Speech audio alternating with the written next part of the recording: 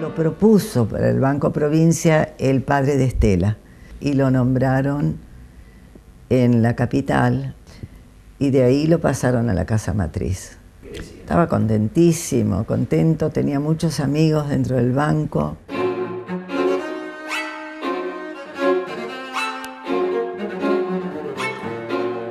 Era abogada, se recibió en el año 72, en el 73 nací yo, en el 76 se la llevan, así que eh, ella tenía sus primeros casos, estaba trabajando eh, en algunos sindicatos como en el de ladrilleros, eh, y de alguna manera comprometida socialmente desde la justicia, del lado siempre de, la gente desamparada, de, de los trabajadores. En 1976, Jorge Ogando tenía 29 años. Estela Maris Montesano, 27. Vivían, junto a Virginia de 3 años, en un departamento ubicado en 12 entre 68 y 69 de La Plata, justo frente a la iglesia, donde décadas atrás se habían casado Juan Domingo Perón y Eva Duarte. Una de las últimas veces que la vi a Estela, me dijo, somos tan felices. Dice, y yo le hice el comentario de que qué suerte, que me alegraba y que me encantaba que me lo pudiera decir. Y dice, sí, si Jorgito no fuera como es, no podríamos ser tan felices.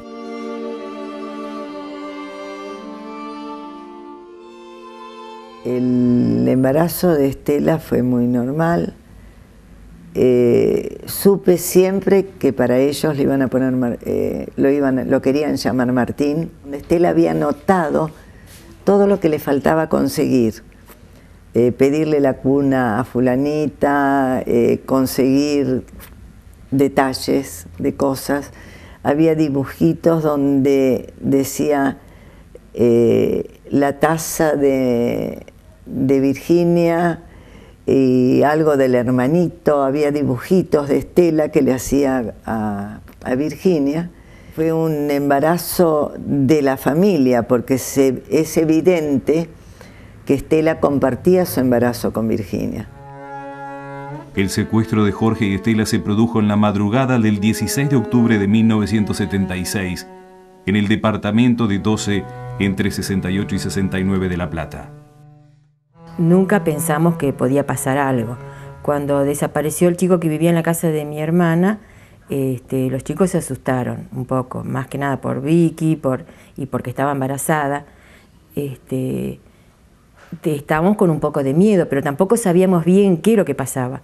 Y no éramos conscientes de que existía todo esto atrás, ¿no? de que había detenciones, torturas, eso nunca lo pensaron los chicos, ni, ni lo sospecharon. Siempre tuve como motivo de la desaparición de, los chicos la convivencia con, este con un matrimonio que vivían en la casa de ellos, eran estudiantes de medicina. Este chico le decía, yo lo conocía por Vigo, cuando vuelve Vigo de hacer el servicio militar, sale a buscar departamento para irse con la chica y no regresa. Vigo era Edgardo Miguel Ángel Andreu y su novia, que también está desaparecida, Norma Robert. El 5 de octubre de 1976, Andreu desapareció en las inmediaciones del Parque Saavedra, mientras buscaba un departamento para alquilar. Les dio un poco de miedo y por eso fue que se fue a consultar ahí a la calle 54, que es este, inteligencia, ¿no? La Dirección de Inteligencia de la Policía de la Provincia de Buenos Aires funcionaba en 54 entre 4 y 5 de La Plata. Allí se realizaba un pormenorizado registro de persecución político-ideológico sobre hombres y mujeres. Sí, ahí, a la boca del lobo, fue a hacer la denuncia de la desaparición de Vigo. Le tomaron nota de todo lo que habló y que declaró, que cómo vino, quién lo mandó, quién lo recomendó, contó con lujo de detalles todo. Y le dijeron que no se preocupara, que era un cabecilla muy buscado. el tal Vigo. Y, bueno, ahí les dijeron que no, que se quedaran tranquilos, inclusive este, la familia tenía una casa en Córdoba, habían pensado en un momento irse a Córdoba unos días, pero bueno, Jorge trabajaba, Estela mm, tenía trabajo también y estaba con ocho meses de embarazo, ¿no? Y Vicky chiquita de tres años.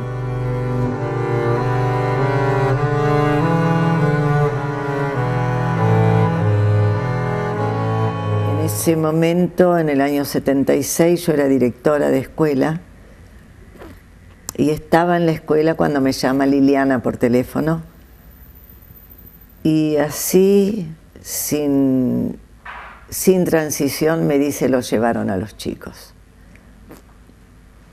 Lo llevaron a dónde, no tenía la más mínima idea de lo que ocurría. Se lo llevó el ejército encapuchados. No lo podía creer. Y eh, ahí es como que se me derrumbó el mundo directamente porque era insólito, no, no, no tenía la menor idea de que ocurrieran esas cosas. Sabía sí que algo que ocurrían por alumnos míos, que Jorgito me iba diciendo que habían matado a fulanito. ¿Y cómo que lo mataron? Sí.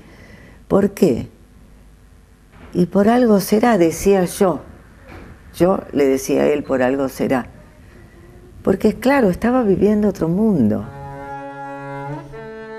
En La Plata, Berizo y Ensenada, las persecuciones y detenciones se multiplicaron por miles durante la dictadura militar. Es una de las regiones con mayor cantidad de desaparecidos del país cerca de 2.000 personas.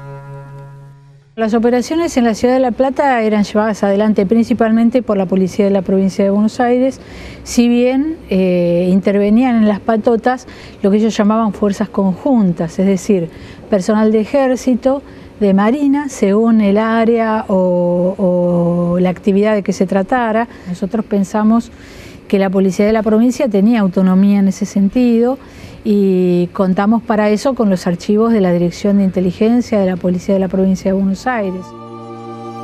El archivo de la DIPBA es el primer lugar de inteligencia policial recuperado y abierto de la República Argentina. A partir del año 2000, por ley provincial 12.642, el archivo fue desclasificado y está gestionado por la Comisión por la Memoria. En octubre de 2003 se abrió al público. A mí siempre me contaron la verdad. Desde chiquita seguramente yo no sabía qué quería decir, el significado eh, del desaparecido, pero sabía que mis padres ya no los tenía y, siempre crecí con esa verdad. Había eh, vía libre para, para la, la obtención de botín de guerra, es decir, las casas en las que se secuestraba a alguien eran saqueadas y el producto de ese saqueo era repartido entre la patota.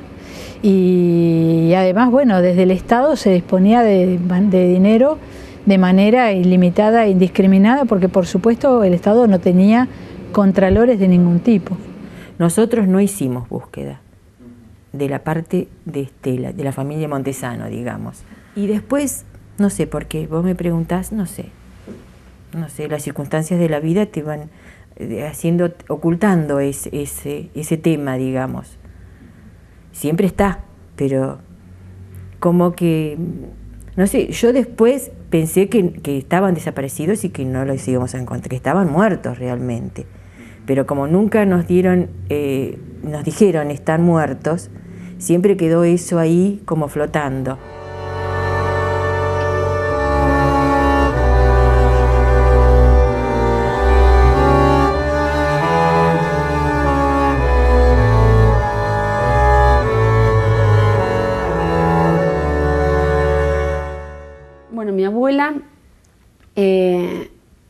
Cuando mm, yo voy a vivir con ella, cuando ella me lleva, eh, enseguida dejó de trabajar y, empieza a dedicarse a buscar primero a mis padres y después distintas abuelas que estaban pasando por la misma situación empiezan a juntarse y, y bueno, ya la búsqueda estaba dirigida a sus nietos.